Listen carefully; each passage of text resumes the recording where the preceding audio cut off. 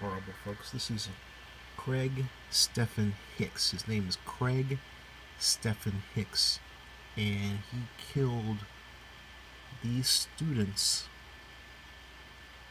I mean, dead. They were shot dead in their home in North Carolina, Chapel Hill, Tuesday night.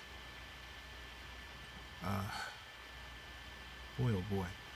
And apparently, no mainstream media, CNN or BBC, but Twitter.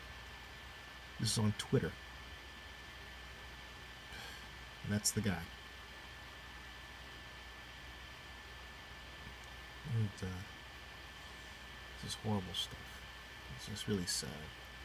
It is sadder that the media miss, just ignored it. Right there on social media, they didn't even report it. This is what uh, Dick Barakat left on his Twitter account. He's one of the people that this horrible person just killed. Yeah. Oh man.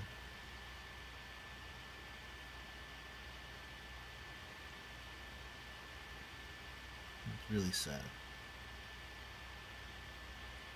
And three Muslims gunned down today in North in Chapel Hill, North Carolina. Prayers going out to the victims and families of those murdered in Chapel Hill shooting. I concur. I completely concur. Ugh. Terrible.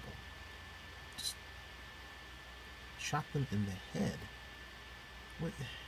You know, man. Ugh. They just married and raised almost $15,000 to fund a trip to Turkey to provide medical relief to Syrian refugees. Ugh.